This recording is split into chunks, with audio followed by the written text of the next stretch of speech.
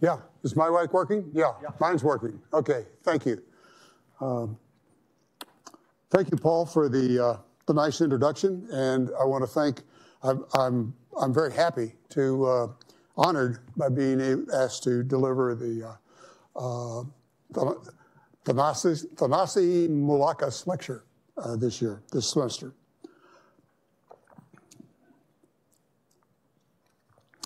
The title of my talk this evening is intentionally provocative. It alludes, of course, to an awareness that the world in which we all live is full of problems, if not threats personal, economic, political, cultural, national, and international, environmental, maybe even religious and spiritual. And what is also characteristic of our time is the extent to which engineering is so often proposed as a solution to one or more problems across many of these categories. Engineers think of themselves as problem solvers. There's not a clearly uh, in line of sight clock. So I've got my own here, but I have to keep it in line of sight. Let's see if I can do that. Take a very personal student problem, such as trying to decide what to major in. Um, so as to get a well-paying job. Students often settle on engineering as a solution. My guess is that this is probably the case for many of you. This was certainly a choice that my mechanical engineering father urged on me. There are also medical engineering solutions to many personal medical problems, from dental engineering to tooth implants, as, and as we age, biomedical engineered devices such as artificial hips and heart pacemakers. To the problem of how to make the United States more competitive in a global economy, no doubt the single most common response is to promote more engineering innovation Engineering in some form, from civil and mechanical to computer and genetic, is regularly celebrated as the energetic engine of American capitalism. Even at the level of banking and venture capital investment decision making, the controversial field of financial engineering plays a critical part. Financial engineering aims to guide liquid capital to the most profit producing sectors and funds. Uh, why isn't, oh, I got it uh, here. Um, engineering is also regularly appealed to in order to address various societal, political, and cultural problems. Shortly after the 18th century emergence of classical, modern civil, and mechanical engineering as new methods for constructing the physical world and mass producing the artifacts of material culture, social engineering emerged in the form of new methods for analyzing and designing social orders from cities to nation states. Between them, mechanical engineer James Watt and civil engineer Is Isambard Kingdom Brunel and their contemporaries radically transformed the face and life of England. The heroic age of industrial engineering created British national wealth and power, surpassing any previous in world history. But transformation brought with it deformation poet William Blake and novelist Charles Dickens exposed the engineering disfigured countenance of Albion in its nihilistic urban landscape. To quote Blake, in a city constructed by industrialization's dark satanic mills, he wandered through each chartered street near where the chartered Thames did flow, and marked in every face he'd meet marks of weakness, marks of woe. In Dickens' great social protest novel, Hard Times, it's not only the disfigured poor and exploited workers who suffer, so do other classes in struggling to come to terms with the creative destruction of an engineering transformed and transforming material culture.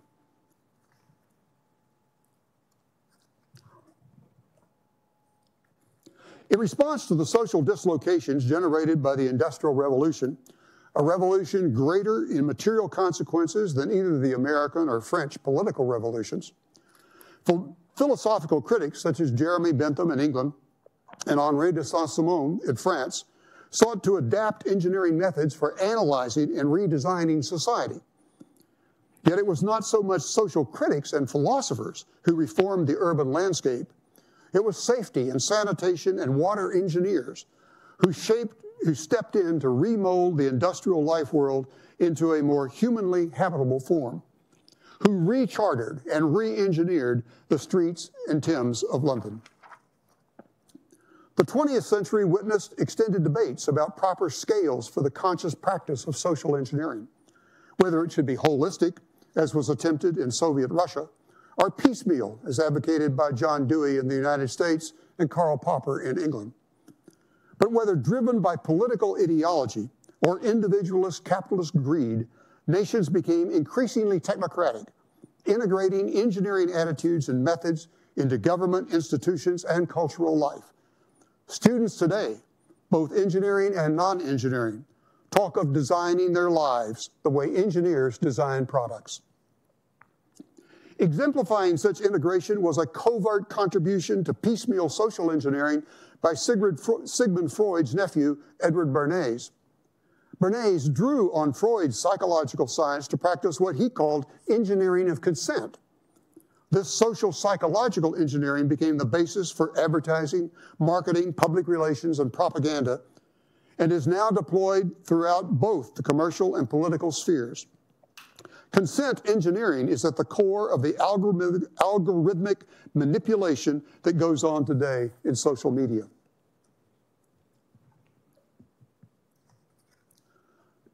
High modernism provides another vivid illustration of the engineering infusion into what has increasingly taken form as a techno life world. One has only to look at Bauhaus style design, futurist and cubist painting, and the international school architecture to detect elements of the engineering colonization of culture with an engineering aesthetic. At the national and international levels, the engineered invention and development of weapons, both offensive and defensive, has become decisive for transforming and winning wars. Recall that the very word engineer didn't appear until the 16th century, which didn't appear until the 16th century, initially designated a kind of soldier. Engineers were, in the first instance, designers, constructors, and operators of engines of war, such as battering rams, trebuchets, and cannon.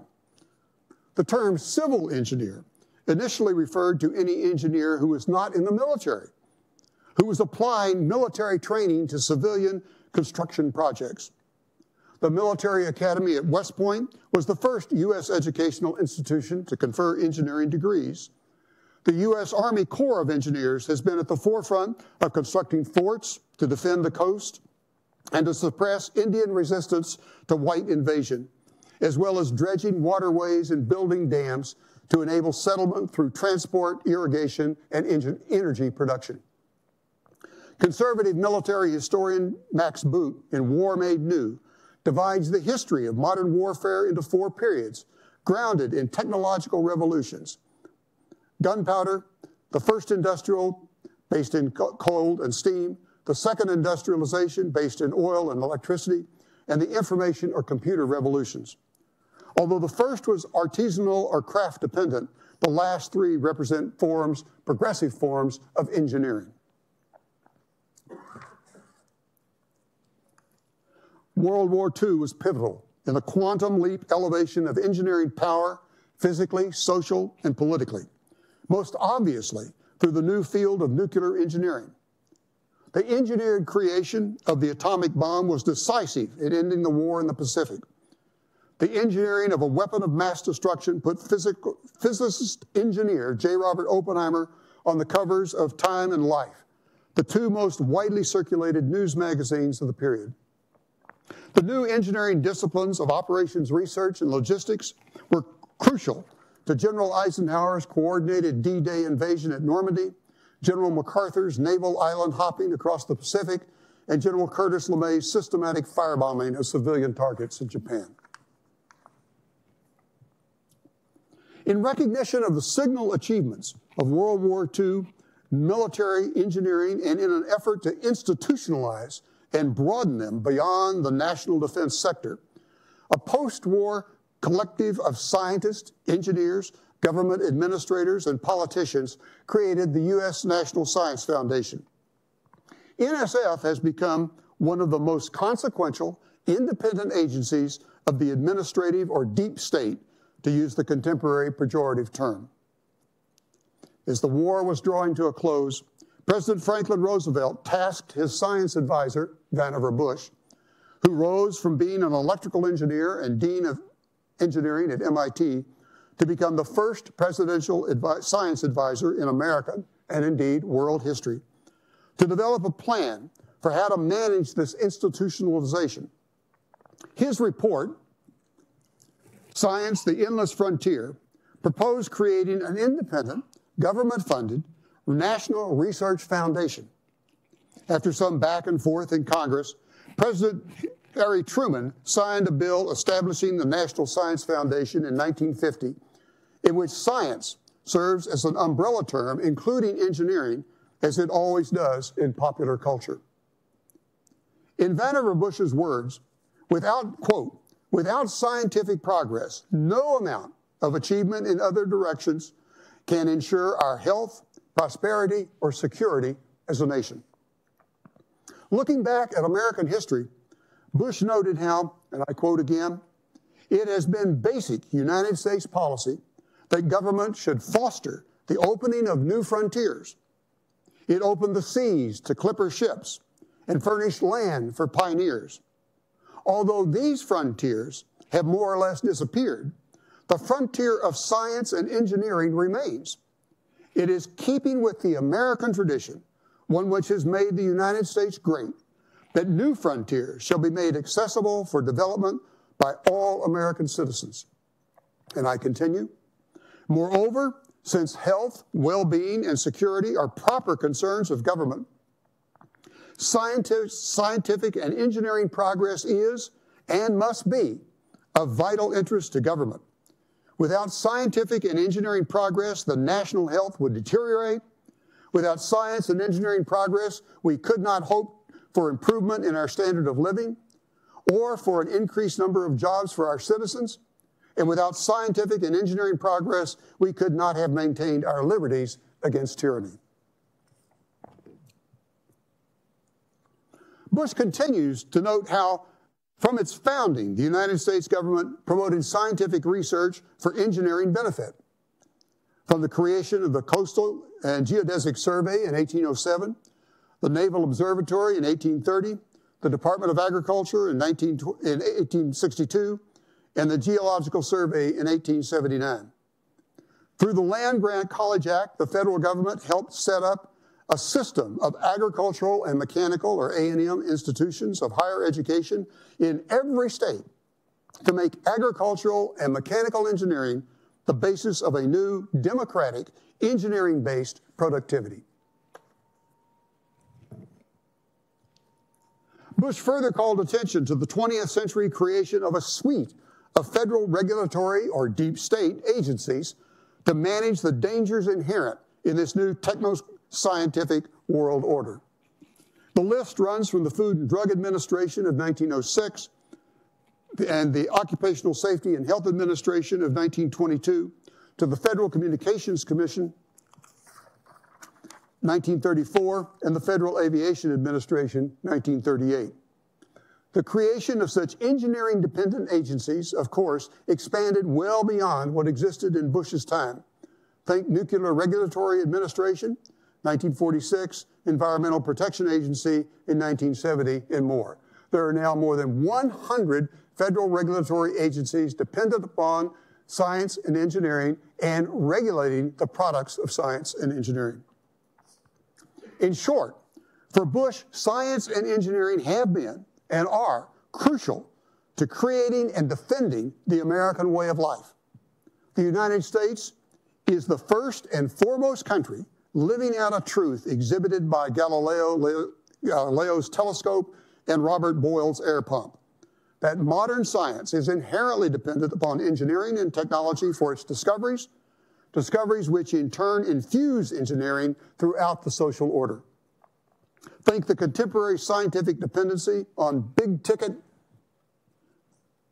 uh, Take the contemporary scientific dependency on big ticket glamour instruments such as the Hubble and Webb space telescopes and the Large Hadron Collider. Science as we know it could not exist without these engineered devices any more than we could possess the engineered conveniences to which we have become accustomed without them. In the U.S. federal science budget, it's really engineering from top to bottom. But let's step back a moment and notice a subtle shift that's taken place in the political conception of what engineering can do for us.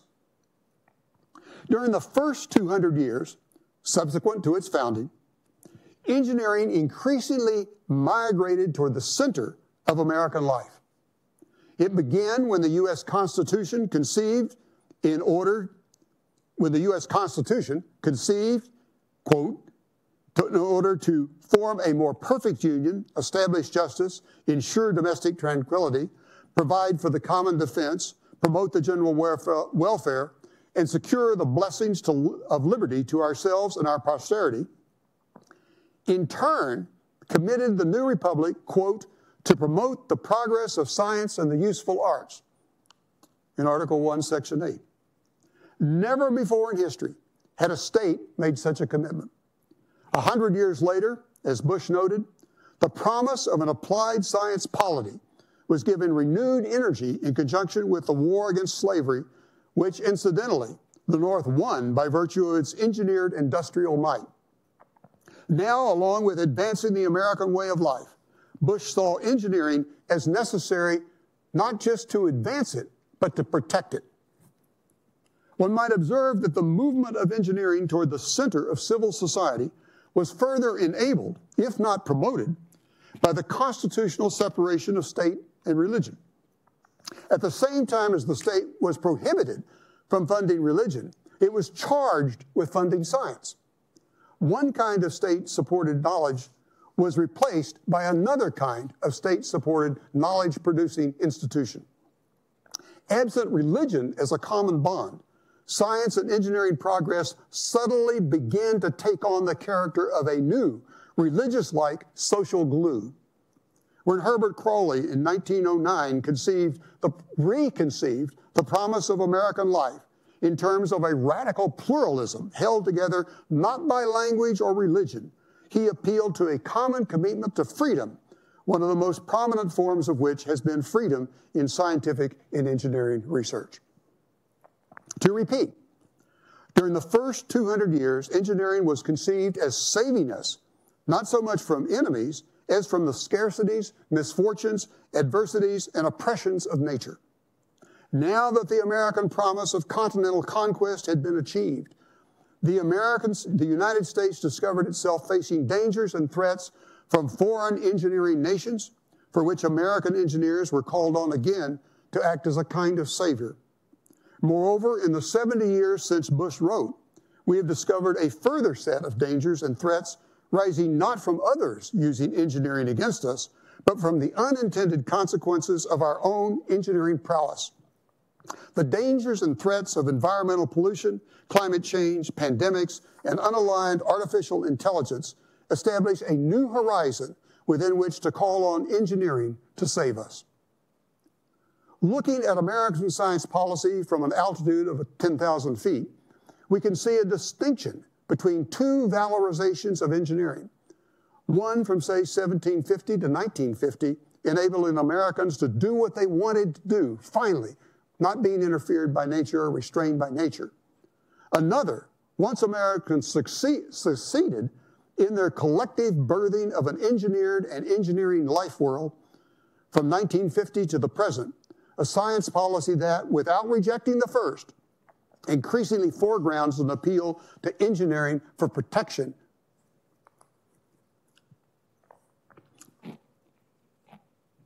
From this 10,000 foot vantage point, we now parachute 70 years into the present, into our own world, and we notice two things.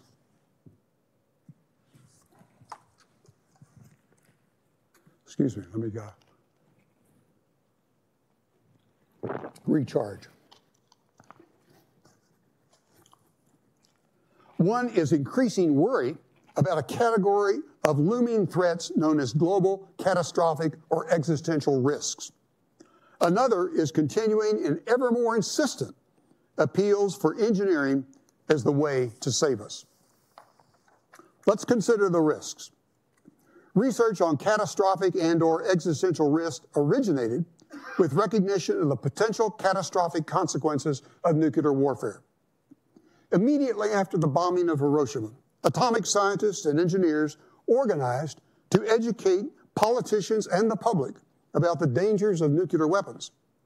One key effort was founding of the Bulletin of Atomic Scientists, which in 1947 began featuring on its cover a doomsday clock in order to graphically represent what the engineers themselves saw as the danger. The closer to midnight on the clock, the closer to existential catastrophe is judged by representatives of the nuclear science and engineering community. There we have the clock. Um, uh, in, um, in 1947, it was set, first time, at seven minutes to midnight. Uh, with the with the multiple explosions and testing of weapons, uh, it dropped in 1949 uh, to three seconds to midnight, and with the explosion of the hydrogen bomb, it dropped to two seconds to midnight. Until the present, that's been the closest it's ever been to midnight. With the uh, end of the Cold War, it went up to 17 minutes to midnight. But look where it's dropping down to now. Just um, originally said it in 1946 at 7 to midnight. 1953, explosion of the first atomic bomb advanced to two minutes. At the end of the Cold War, 1991, dropped back to 17. Since 2010, it's been advancing again until as of January 24th, last month, reflecting the war in Ukraine, the clock now stands only 90 seconds from midnight, the closest it's ever been. Pushing back what he, against what he considered excessive fear mongering, in 1962, engineer Herman Kahn, in On Thermonuclear War, argued for a more analytic and less fearful thinking about the unthinkable, his term. According to Kahn, nuclear war need not be an existential catastrophe, at least for the United States. It could be survivable if we would just engineer for survival by creating bomb shelters and other structures.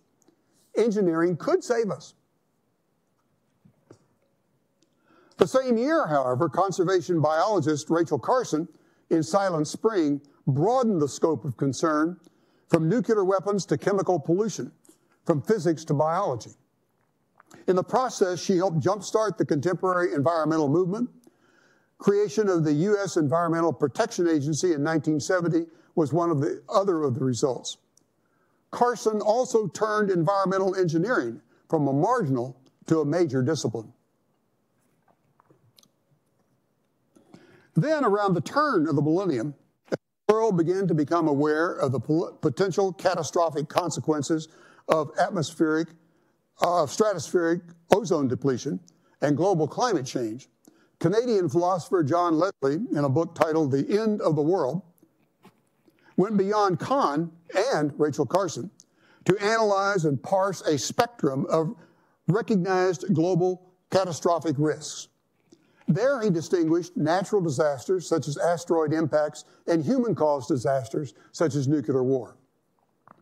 But more important than such recognized risks, Leslie argued, were unrecognized ones. For Leslie, these included dangers as diverse as genetically engineered organisms, at that time they didn't exist, and the appointment of an apocalypticist Christian Secretary of Defense who might believe that nuclear apocalypse was the will of God. This possibility may have been suggested by President Reagan's appointment of James Watt from here in Colorado, his Secretary of the Interior. On the basis of his Christian fundamentalism, Watt minimalized concern about environmental uh, degradation. The next decade witnessed an exponential growth in discussion about existential catastrophic risk, no doubt dragged along by the 2000 proposal to conceive the world in terms of a new geologic era called the Anthropocene. That is, as a human engineered geological era. One proposal for a planetary date stamp for the beginning of this new geological era is actually the layer of radioactivity laid down across the whole Earth by nuclear weapons testing from 1945 to the mid 1960s. In England, research on existential catastrophic risk became institutionalized at both Cambridge and Oxford universities in 2000 by uh, stimulated by the 2003 publication of British Royal astronomer Martin Rees's book, Our Final Century, in which he argued that the uh, uh, civilization had only about a 50% chance of making it through the 21st century. Two years later, Swedish philosopher Nick Bostrom founded the Future of Humanity Institute at Oxford as part of the James Martin 21st Century School. In 2012, Martin Rees founded a complementary and competitive Center for the Study of Existential Risk at Cambridge University. And in 2018, updated his book on the future, on the future prospects for, updated his book originally of uh, Our Final Century as On the Future Prospects for Humanity.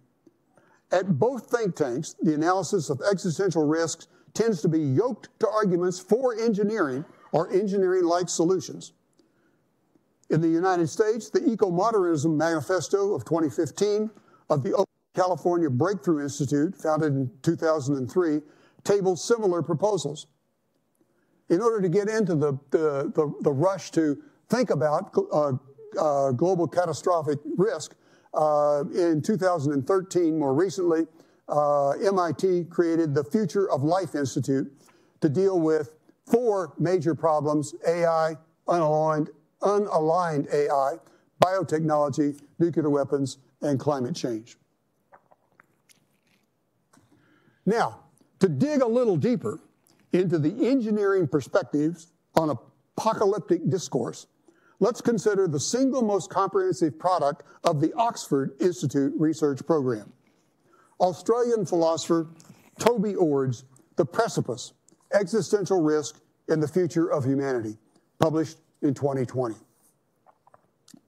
This book has its own website and has been widely and favorably reviewed in places as diverse as Science Magazine, Notre Dame Philosophical Reviews, and The New Yorker. Incidentally, as far as I can tell, it has not been reviewed by any engineering related journals such as the IEEE Spectrum or PRISM. Ord's thesis is that humanity currently exists on a dangerous precipice of potential civilizational collapse or global existential catastrophe driven primarily by human, uh, human sponsored uh, change. Ord begins by distinguishing between local and global existential catastrophe. In each case, civilizational collapse can be partial or total. Partial collapse would leave some humans alive but reduce it to a subsistence level. Full collapse would leave no human presence. As examples at the local level, compare what happened to the Easter Island population after they destroyed their environment, and the Anasazi at Mesa Verde are the Chernobyl exclusion zone after the 1986 nuclear disaster. Ord then argues for what he calls long-termism. Long-termism, quote, takes seriously the fact that our own generation is but one page in a much longer story, and that our most important role may be how we shape or fail to shape that story. In his view, and I quote, one doesn't have to approach existential risk from this direction. There's already a strong moral case just from the immediate effects. But a long termist ethics is especially well suited to grappling with existential risk. For long termism is animated by a moral reorientation towards the vast future that existential risks threatens to foreclose. From the long-termism perspective, one can identify three threat categories similar to Leslie's. Current existential natural risks, currently existing anthropo anthropogenic risks, and risks of future technological developments. Existing natural risks, existing natural existential risks include asteroids and comets, supervolcanic eruptions, and stellar explosions. These are, in some sense, the most existential, but the least able to deter or able to engineer our way out of. And so, Ord spends the least amount of time on them. Although he does credit NASA for its work detecting asteroid threats and designing deflection mechanisms. Existential existential threats include nuclear weapons, climate change, and environmental change, environmental damage. Writing in 2020, Ord dismisses any return to a nuclear Cold War as unlikely, a view that was and is perhaps too sanguine. The Russian threat of use in Ukraine and the existence of multiple nuclear weapon states hostile to the liberal world order, with others on the cusp of acquisition, has in just three years called Ord's assessment into question. His discussion of climate change relies heavily on the 2014 IPCC report and what is now generally recognized as the false optimism of the 2015 Paris Agreement. Not only the, are the Paris Accords judged wholly inadequate by Science magazine, which ran the numbers and said they simply didn't add up, but even that inadequate accord is not being lived up to by any of the signatories. The discussion of environmental contamination has also been quickly outdated. For example, it contained no mention of persistent organic pollutants, POPs, or forever chemicals. Ord nevertheless concludes that, quote, nuclear war, climate change, and environmental damage are extremely serious global issues, even before we come to the question of whether they could cause existential catastrophe. In each case, humanity holds tremendous power to change the face of the earth in ways that are without precedent in the 200,000 years of Homo sapiens. In accord with his own long termism perspective, it is to future threats that Ord devotes the most attention. Future threats include pandemics, unaligned artificial intelligence, and various dystopia scenarios. Once again, the experience of the COVID 19 pandemic challenges some assumptions of Ord's analysis, especially the idea that technical solutions will be rationally and readily adopted. Ord does not leave things at the conceptual level, but surveys a large number of empirical studies related to each category. In his 421 page book, 170 pages, or 40%, is composed of small type, detailed technical notes and references. He knows the literature. Ord also spends considerable analytic energy trying to develop quantitative risk assessments for different scenarios. By his estimate, quote, we face about a thousand times more anthropogenic risk over the next century than natural risk, end quote. Indeed, his estimate is that risk from nuclear war, climate change, and environmental damage are each orders of magnitude higher than all natural risks combined.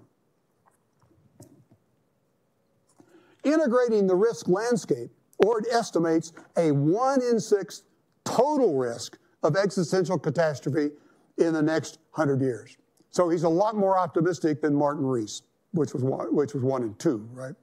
Uh, to drive home his argument here, he quotes Winston Churchill, arguably the most consequential British prime minister of the last two or three centuries, from a speech Churchill made in 1946, post atomic bomb, at Westminster, Westminster College in Fulton, Missouri, and was broadcast on American radio.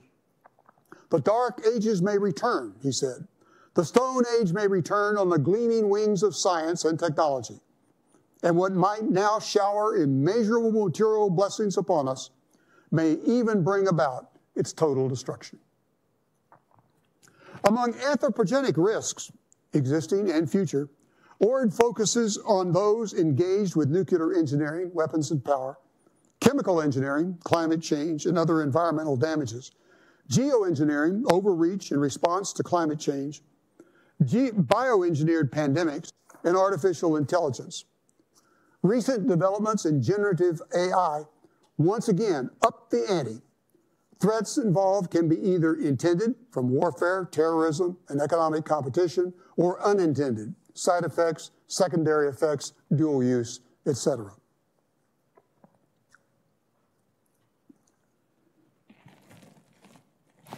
Engineers commonly present their work as solutions to risks rather than their causes. Balanced reflection, nevertheless, calls upon critical examination to be addressed to the risk cost benefits, not just of particular engineering products and processes, but of engineering more generally, including the risk talk that has become endemic to engineering practice. Here again, Ord strikes me as too narrowly focused. Engineering is the foundation of our techno human condition and thus deserves to be assessed not only in terms of manifest benefits, but also in terms of latent fragilities, threats, and global mutations. Ord significantly downplays the way risks and vulnerabilities that engineering seeks to address are in many instances being introduced into human affairs by an increasingly engineered dependence on chemicals and new materials in the industrial, consumer, and medical sectors, not to mention the cyber infrastructure, while fundamentally altering the balances of non-engineered materials through mining and waste production. Ord fails to name engineering as the active risk-producing agent it is, instead preferring to reference the products of engineering, that is, technologies. Still, he does at one point call for a measure of moderation, however small, in our ongoing engineering productivity.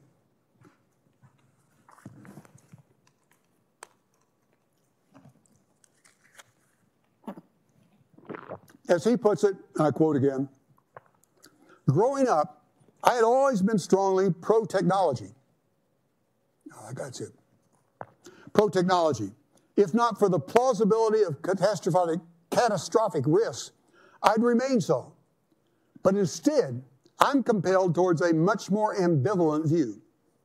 I don't for a moment think we should cease technological progress.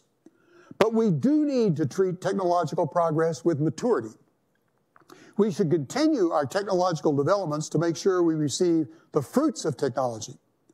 Yet we must do so carefully and use some significant fraction of the gains from technology to address potential dangers, ensuring the balance stays positive.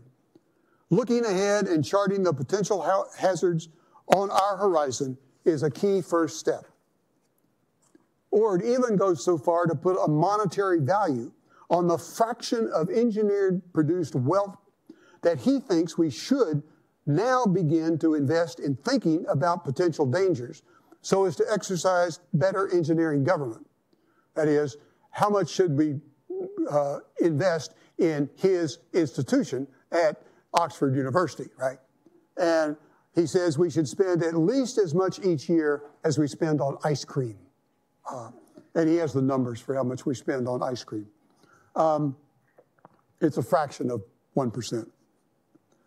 Ord reiterates the issue in his penultimate chapter, Safeguarding Humanity, with a version of the cultural lag thesis. The concern is that the expansion of technical prowess is taking place faster than the will or wisdom to manage it has become a standard trope since the Romantics. As Winston Churchill again had observed in 1930, while men are gathering knowledge and power with ever increasing and measureless speed, their virtues and their wisdom have not shown any notable improvement as the centuries have rolled on.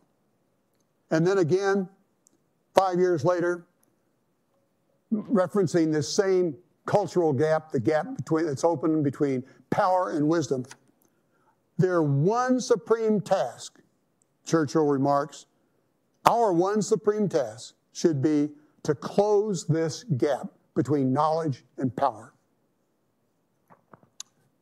Echoing Churchill, Ord writes that, quote, the current predicament stems from the rapid growth of humanity's power outstripping the slow and unsteady growth of our wisdom, so that, and one last time I quote Ord, a more patient and prudent humanity would try to limit this divergence most importantly, it would try to increase its wisdom. But if there were limits on how quickly it could do so, increase our wisdom, it would also make sense to slow the rate of increase in power. Not necessarily putting our foot on the brake, but at least pressing more lightly on the accelerator. End quote. In other words, even someone with a strong commitment to and faith in engineering and technology to advance and protect human health, wealth, and security, to reference again Vannevar Bush's mantra, suggests the need for some level of moderation.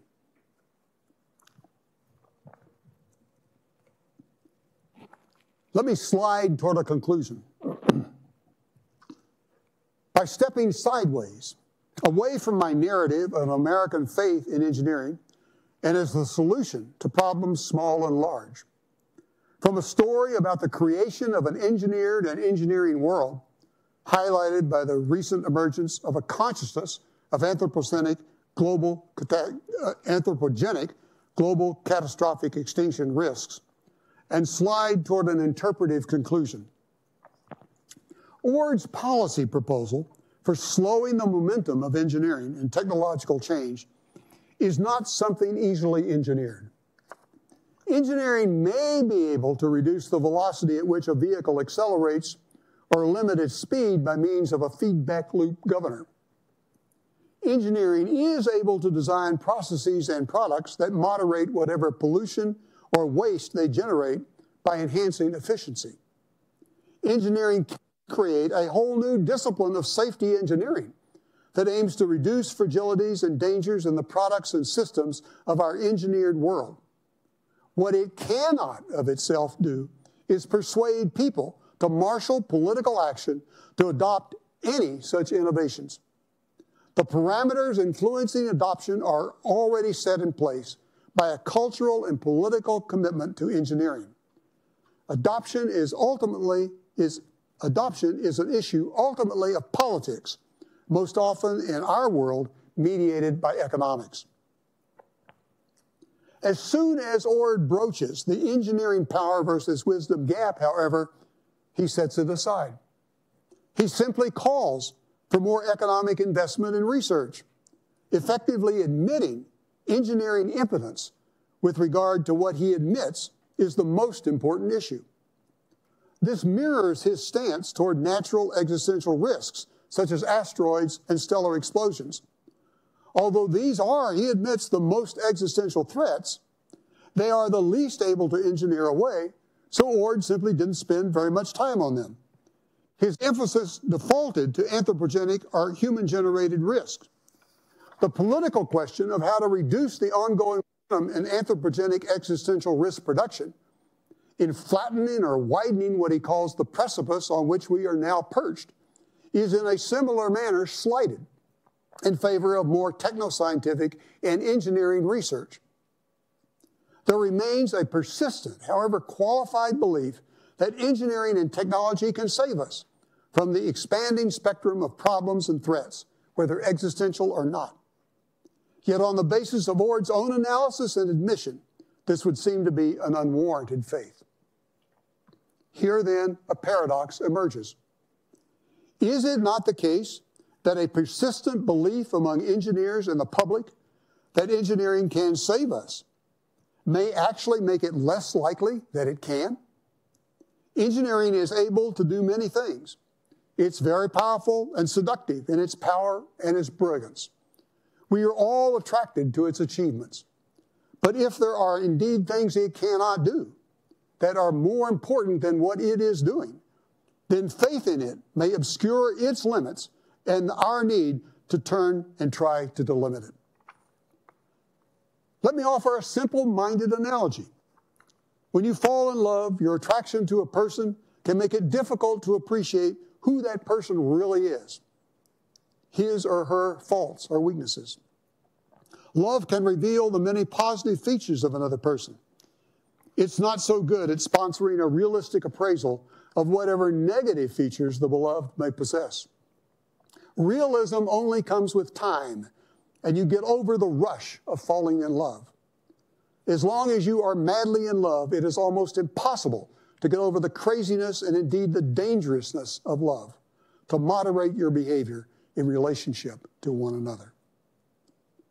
Additionally, and finally, there exists a more fundamental problem.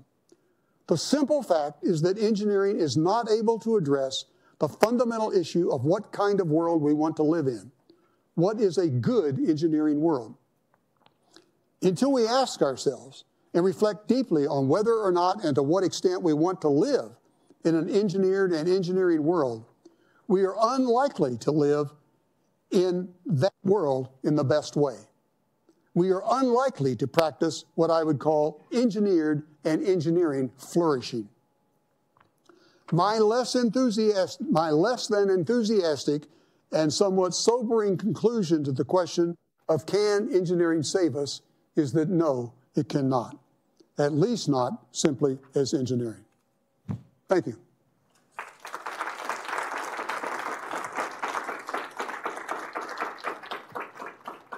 Okay, we have uh, more than uh, we have 40 minutes for questions really? and talk. Great, great. Well, let's go to my clock. We have 35. Let's see if that mic's working. I can uh, take it around. Anybody? I have, I have a question if nobody does.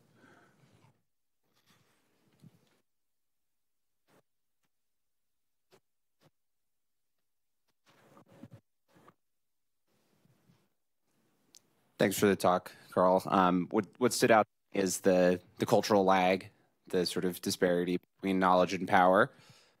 And I would just be curious to hear you talk about um, how you would envision sort of embodying work in a career within engineering, narrowing that gap, either slowing the speed of production or increasing knowledge.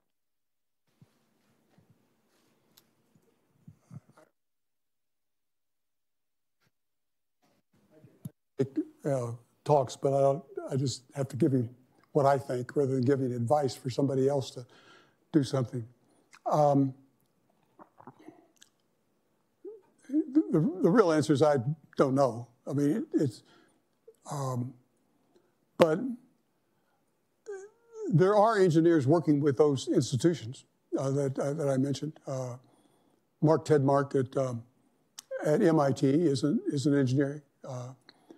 And um, uh, one of the things that I think has been, um, had the most salutary impact from engineers is the, um, there's, I guess, three different uh, groups I'd mentioned. One, the, the uh, Bulletin of the Atomic Scientists.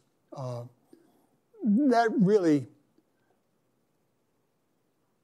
had a significant impact on forcing the United States and Russia to sign the Limited Nuclear Test Ban Treaty of 1963. Um, it, it, it helped galvanize, you're too young to remember. Uh, there's some people in here are not too young to remember. Uh, I mean, there were, there were worldwide, or European and American and Japanese and Australian protests, um, the, the United States and the Soviet Union at the time refused to sign uh, to limit uh, above ground testing, re refused to limit testing. And we were introducing so much strontium 90 into the atmosphere that uh, it was falling on the ground, cows were eating it, it was getting into cow's milk, so that cow's milk was often uh, unsafe to drink. And more than that, uh, in, um, where is it, St. George, Utah? Anybody from Utah here? Uh, St. George, Utah is known as the, the uh, uh, downwinders. Uh, women could not breastfeed their babies because breast milk was so contaminated with strontium 90 fallout from the testing in Nevada. And yet the United States wouldn't stop, right? So it would, because people didn't sort of know what was going on, and public sentiment had to be galvanized to do something. Um, and it was stimulus from, from nuclear engineers and scientists uh, who sort of galvanized the public. Uh, they created a separate institution, the Federation of American Scientists, which has an office on K Street in Washington. That's the lobbyist street. It doesn't have as much money as other lobbyists, but they have worked consistently to try to lobby Congress, to educate members of Congress about the dangers of nuclear weapons and chemical weapons. Now they've sort of broadened to chemical weapons. So this, this journal published in Chicago, uh, Federation of American Scientists, and then the Union of Concerned Scientists, which was founded at MIT in uh, 1969 or 70 um, to, uh, to protest the Vietnam War. I mean, dropping napalm on uh, uh innocent civilians in the, in the war led chemical engineers to think we don't want to be involved in this. And so a, a lot of stimulus in, uh, for intelligence support to halt the use of napalm. It never happened, but they, we tried to do it. Uh, but again, that came from, uh, from scientists and engineers. Um, Rachel Carson, uh, an applied scientist, a conservation biologist, helped stimulate, as I said, the uh, environmental protection movement. On the, uh, on the, there's a plaque outside on the, on the, in the inside in the foyer of the Environmental Protection Agency that says, you know, this is, uh, we honor Rachel Carson when we created this. Rachel Carson was dead. She died of cancer herself in 1964. Uh, but the people who founded and created the, the Environmental Protection Agency uh, uh, saw her work as stimulating that. So this kind of public engagement uh, with institutions that are trying to educate the public about the reality of these risks, I think, is one of the things that, that engineers and scientists have the cachet and the clout in a world that pre Trump, when we did believe in truth, uh, might have an impact on, uh, on things. Is that some kind of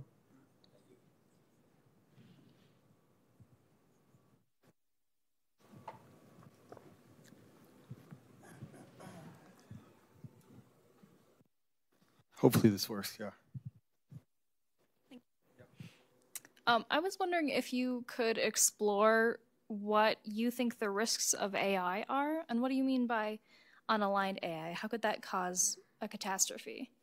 Um, I, am not up on this stuff, but I'll tell you what uh, little I do know. Um, the term unaligned AI refers to an AI that's that's we should try to align AI with human interests. We want to build in uh, to uh, artificial intelligence program some kind of restrictions. So this we get to the level get to talk about some kind of of uh, stop on things that you don't want an AI that could uh, a learning program that, for instance, could learn how to design a uh, autonomous weapon.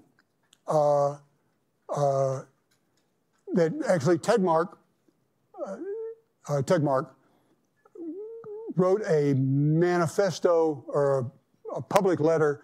One of the first things he did when that uh, that Center for the Life, Future Life um, was create this little manifesto arguing that we should not create um, uh, autonomous, we should limit the creation of autonomous weapons uh, because of the danger that they would go out.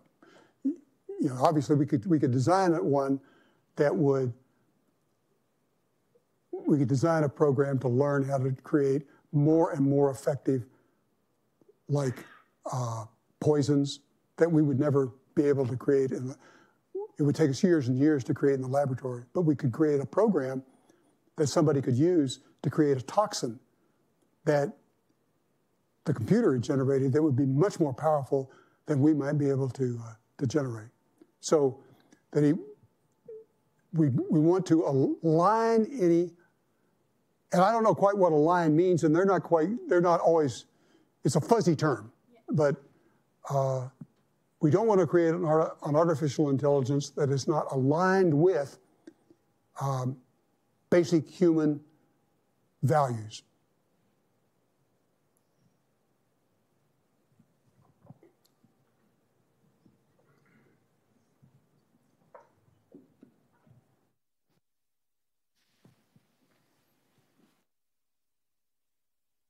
So you talked a little bit about the difference between human wisdom and human technological power.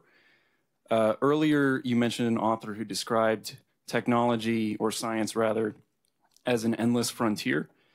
Would you characterize human wisdom and society as an endless frontier, or do you think that there are practical limits to that?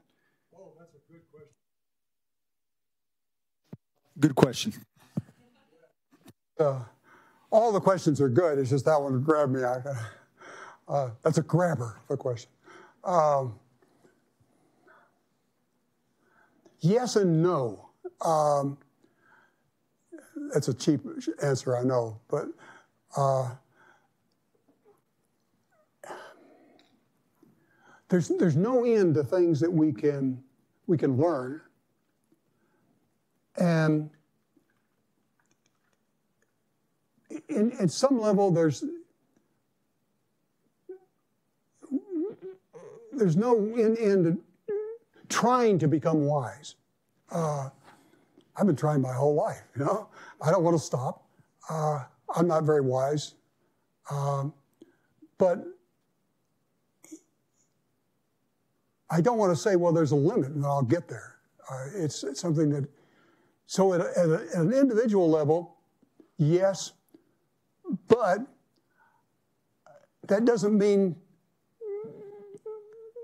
we'll ever get there, you know. Uh, there is, and there is a, a limit simply by the fact that we're going to die.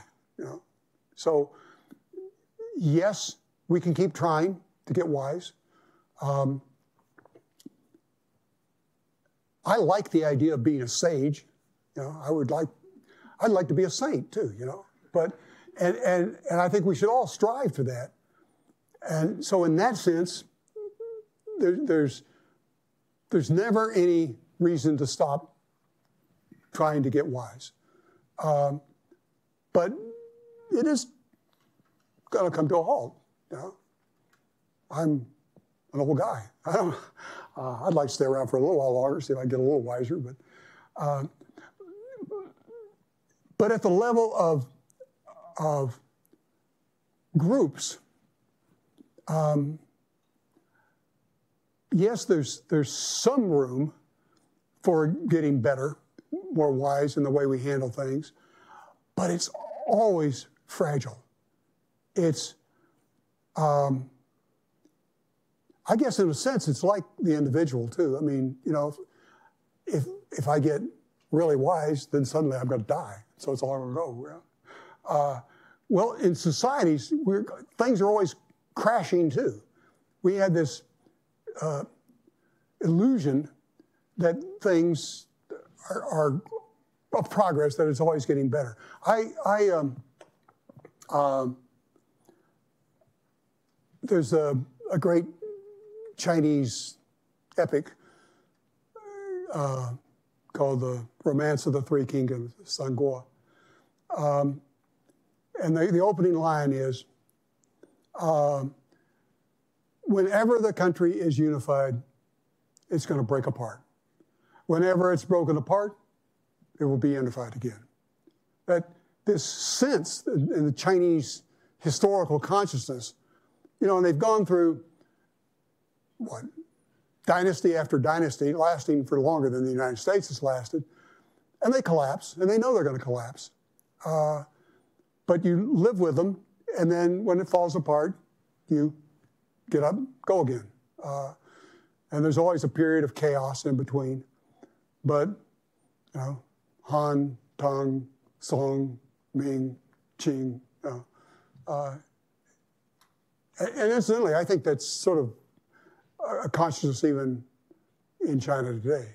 Uh, that's the reason they don't get quite as upset as uh, some countries do when they have somebody who's a little bit authoritarian, or more than a little bit authoritarian. Well, it's not going to last. He's going to die. Mao died. You know. So at the at the society level, I don't think it goes on. It just goes up and then it crashes. So that, that's a long, roundabout answer. But it, it makes me think. I'll think about it more too.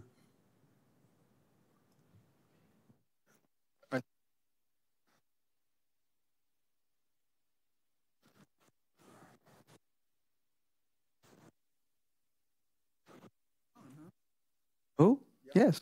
Um, again, thanks for the talk.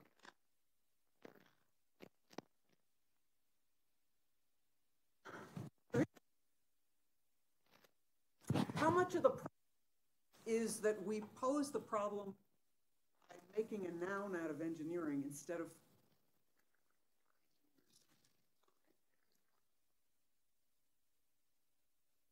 that that's I think that that's part of what you were saying in your answer to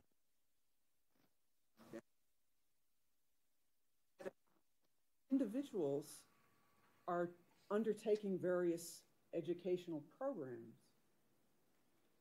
Does that give you any more Yeah, yeah, that's, a- that's, uh, that's. I would want About engineering, not just engineers. That engineering is a discipline and it makes engineers. Now, other engin, one engineer uses engineering to make another engineer, but I wouldn't want to say they're only doctors. There's not, there's not such a thing as medicine.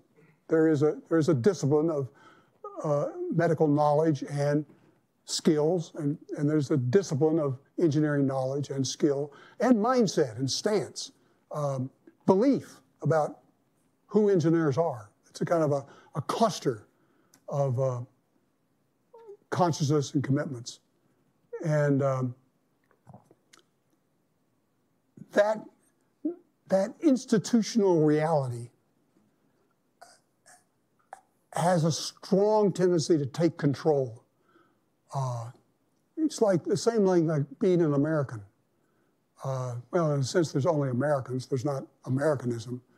But by golly, if you want to be a certain kind of American, it's hard to claim that you're an American and live with it, you know. So I, I want to give some kind of, of power to a, a, kind of consciousness or an idea, uh, too.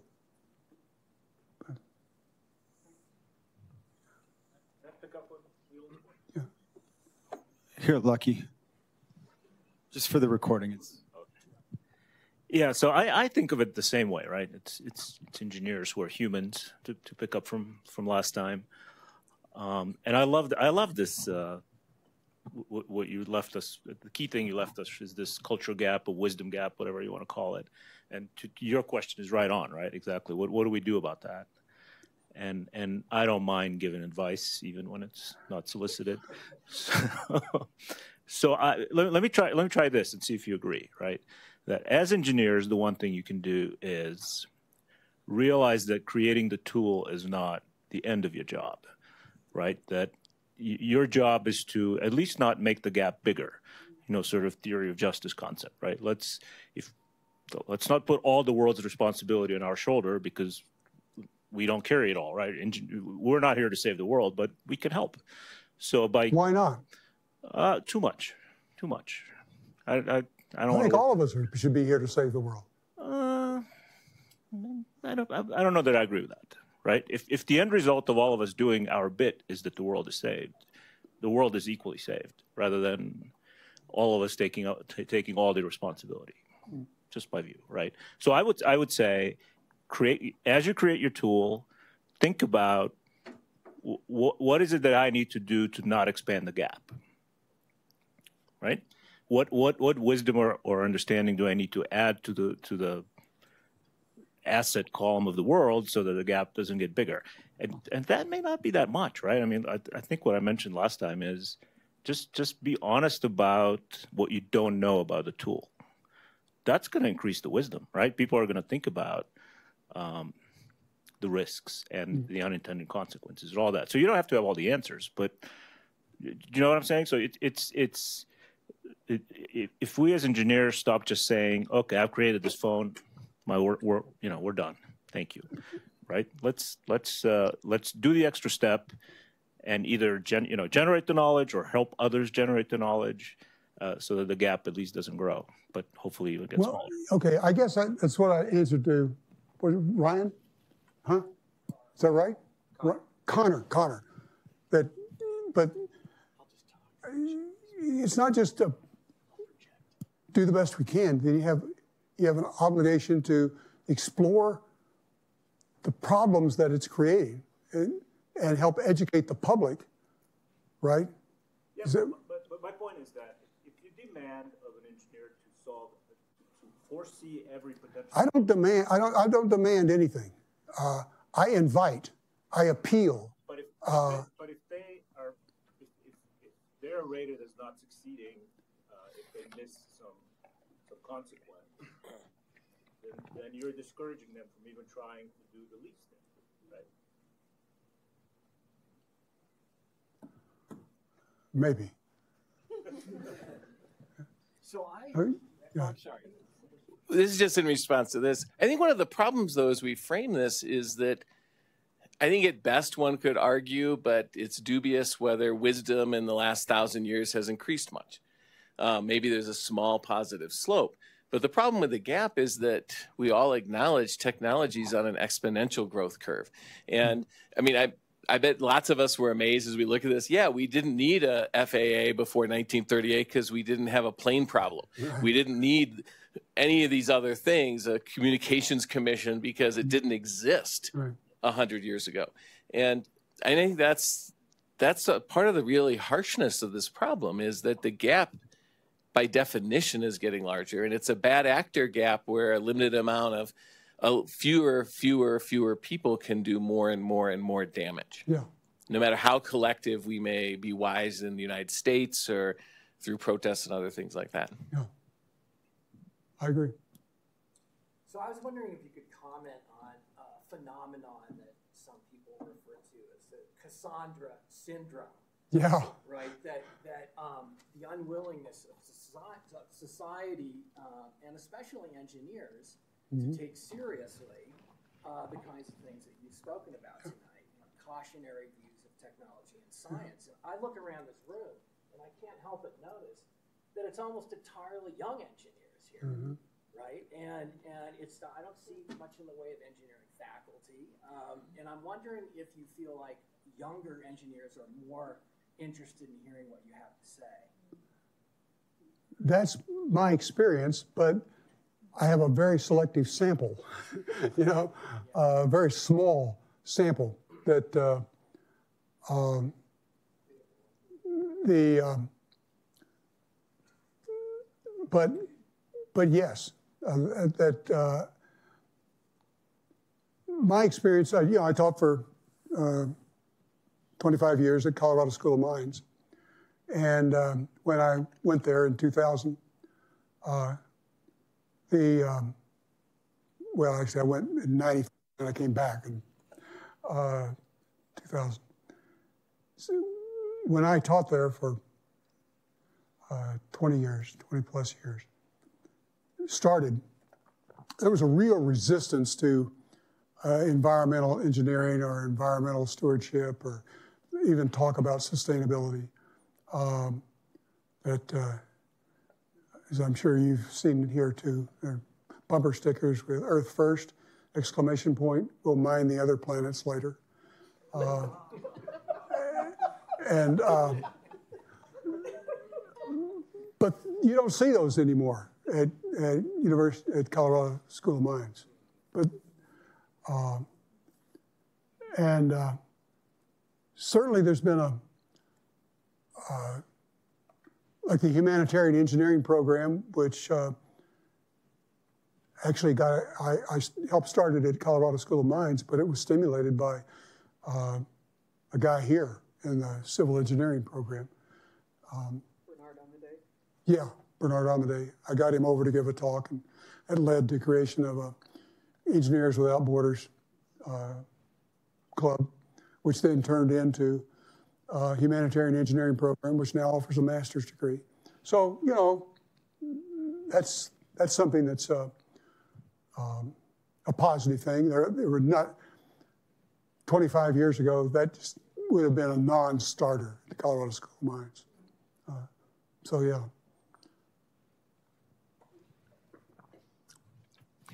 I'd like to say something in response to the idea of, you know, people ought to get credit for just kind of doing their basic job, even if they don't go beyond that. I'm a retired pediatrician. I'm not a urologic surgeon, but if I were a urologic sur- surgeon and I was really good at doing prostatectomies, and I noticed that your prostate was big, and I convinced you that I needed to do a prostatectomy on you when you really didn't need it, but I did my job and I did it well. Do I get credit for that? If so, what kind of credit? Not sure I was talking about just, just doing a job. Yeah. Sounded like it to me. That's a, that's a fraught project for a man of my age.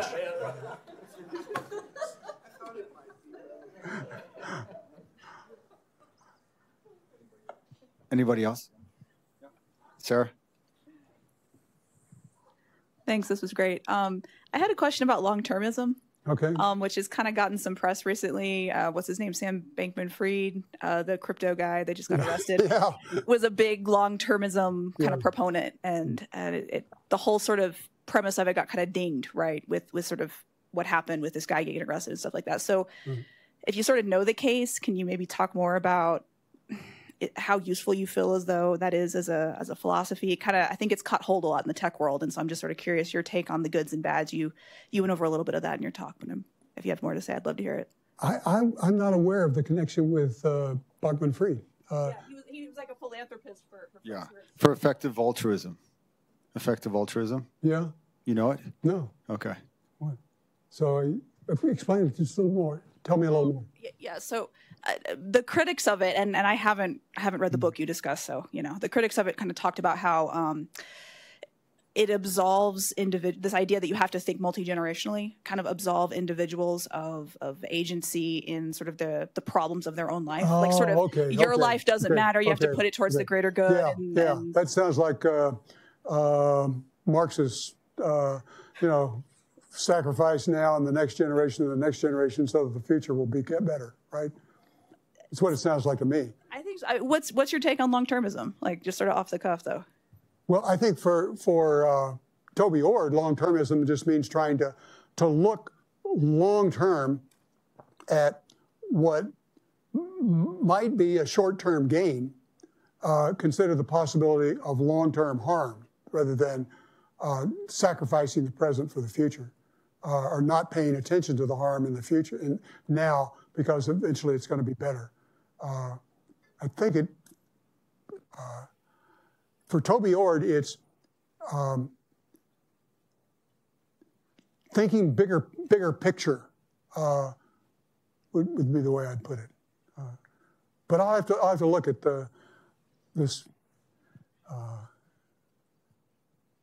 crazy venture capitalist cyber currency stuff. Somebody over on the other side of the room. I've been playing to one side of the room. I'm sorry. Okay. Thank you. Um, so we've been hearing a lot about this like idea of what's our responsibility as engineers, assuming that engineering is something that we can like use as this, uh, or at least as engineers, we have some uh, capability of of anal- of social analysis and impact analysis uh, from kind of the the word using the philosophical industrial complex that is the left side of the room right now.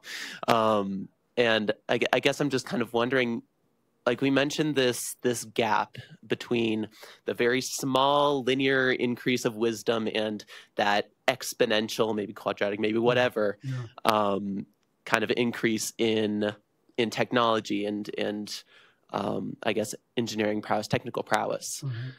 Yet we see time and time again we we saw with the gap between our understanding of the potential impacts of nuclear weapons and the eventual response by the Bulletin of Atomic Scientists, and then again with the understanding of uh, of chemical impact on the environment, and then later, as in much later compared to, I guess, the atomic response, uh, the establishment of things like the EPA, taking a very U.S. centric Mhm. viewpoint.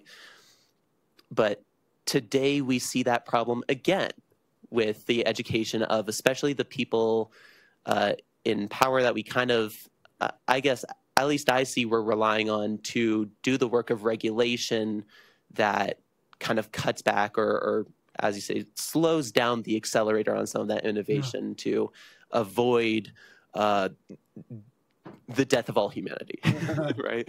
Um, and that's largely, I think, in the United States represented by legislation. Today, we're seeing this huge gap in the technical understanding of people in legislation and the immense amount of technical prowess and evasion prowess in like technology companies, mm. Google, Facebook, whatever we see it in the news constantly. There's a very public perception of it, yet we're still doing a lot of work to kind of refine that understanding so that we can even figure out how to regulate it. I mean, mm-hmm. last month there was a conference here, right here at CU, uh, or I guess a, a, collection of people. I don't know if it was a conference called "The Internet's Midlife Crisis," mm-hmm. and the entire point was just saying, "What's going on with the internet? How do we even think about this from an ethical viewpoint? What is good? What is bad? We don't really know." Mm-hmm. So I guess my broad question, following from all of this uh, extensive background, is it seems like we're not going to end this problem of, uh oh, there's an issue. Let's have this seemingly increasing time gap of how to solve it, even though we kind of know at least basics of how to uh, understand its impact on society. Mm. Why is there, even if there is that gap between our understanding and, or, or rather, the gap between our wisdom and our ability, the little bit under that wisdom curve is is still enough to say there is something we can do. Yeah. Why is it taking yeah. so okay. long okay. to move into the space of doing? Yeah, I, I, I like that phrase. There's a, there's a, there's there's enough under the wisdom curve that gives us um, some basis for action. Um, let me pick up on the thing you made about laws too. Uh, back to Connor, your question: What can what can you do? The there are always jobs as staffers on the Hill. Uh, that that's that's true. I mean, it, um, you can go knock on you know uh, your representative or senator's door and say you'd like to be an intern, and you can begin to provide some kind of advice that will increase the wisdom. Our politicians I better be careful what I say. But it doesn't take much wisdom to help increase the wisdom of our politicians. Uh, and uh, a few years ago, I was teaching a course in, in science policy at Colorado School of Mines. And so I took it on myself to invite the Republican senator of the time to come to class and say, give us a charge. What, what do you need some advice about that we might be able to help you? And so he gave us a project, right? And so it was a class. We did it, a little uh, report, white paper. But it probably had no impact, that's true. But it, it, was, it was an experience that then I've also done, I've also got a courtesy appointment here at Colorado School of Mines with a what used uh, an old institute, the Center for well, Center for Science and Technology Policy Research uh, here, and uh, from there, we regularly graduated students who then got jobs on the Hill. I still I still know people who were staffers um, on the Hill, and uh, I know small little stories from just a few examples, but uh, Congressman George Brown, he's long dead now, but he, he was the chair for a number of years of the uh, House Science and Technology Committee. He was a real, he was a kind of wise man. Uh, he, he knew how to do things differently. Uh, we haven't had somebody, we haven't had a, an engineer in Congress who had any power in quite a while. Uh, so, yeah, but I, I like that point about it. There's enough there you can do something. We can't, no reason to throw up our hands in despair. What? I go on too long in my answers. I feel like this is something of an indecent question after that.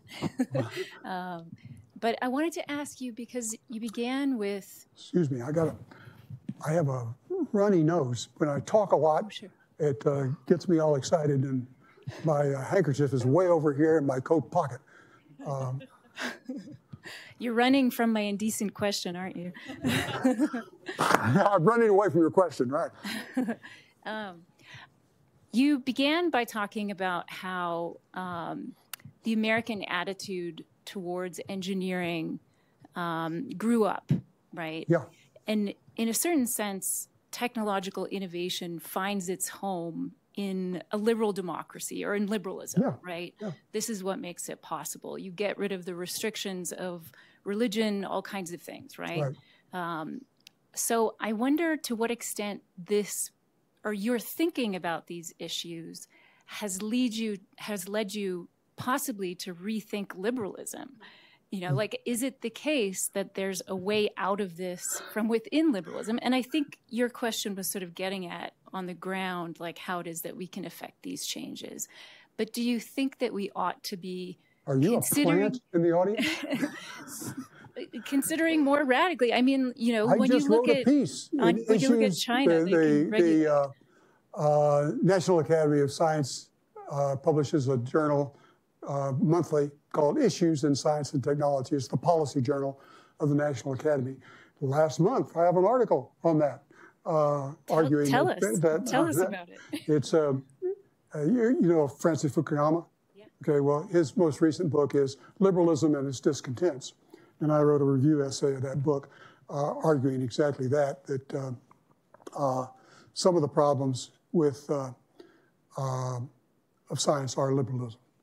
It's too much freedom that we, we have, we're addicted to freedom and there may be problems with that addiction uh, in science as well. Uh, that, well, yeah, I agree with you. So does that mean reform? Huh? Does that mean reform, or does that how? What's the trajectory you're thinking of that? Or is you, are you just wanting to acknowledge that problem at this point? Um, well, I could. I mean, I, I can. I can think of concrete policy proposals to make, um, and uh, the. Um, some of them are, are, are being enacted even as we speak. Um, over the course of the last 20 years, well, let's say Congress has enacted, has required more and more uh, some kind of minimalist ethical reflection to justify research. Uh, that didn't exist. Uh, see, when um, see, it used to be that. I'll just take take human subjects research. There's the there's the best example. We've put a lot of limits on human subjects research that did not exist um, until really 1950s, and then we discovered that we were still doing things like uh, uh, the Tuskegee uh, syphilis studies, where we just let African Americans who had syphilis don't treat them, even though we have we have penicillin uh, would cure it. Let's see what happens. How do they die? Uh, it's horrible. Uh, so we've really ramped up uh, human subjects research ethics, um, and initially, when NSF created the guide, the, the template for making proposals to get funded, there was no question, of, you, aren't, you aren't asked any questions about what are called broader impacts. Uh, now, there were, there were only two, two criteria for, that you had to meet. One, that it had to be um, interesting to other scientists, and two, that you had the resources to do it. Uh, that you know you had a, a, good enough CV and you at an institution which had the accelerator or whatever you needed to do it. Two criteria: merit, uh, uh, intellectual merit and uh, I forget what it was worded, but um, enough enough uh, education of the person proposing to, to do it. Uh, but now there's seven criteria, and uh, three of them are have to do with broader impacts. It's called. So that's a that's a big change. It's I think there's still more needs to be done along those lines, um, but that's a big change. Uh, so, Carl, um, I just want to ask this question. I mean, I have many questions. You finally get one. Huh? Okay. As someone who spends uh, some of your time in the uh, CCP party state, the Chinese regime, mm-hmm. Do you have any insights into a kind of comparative regime assessment regarding technological governance?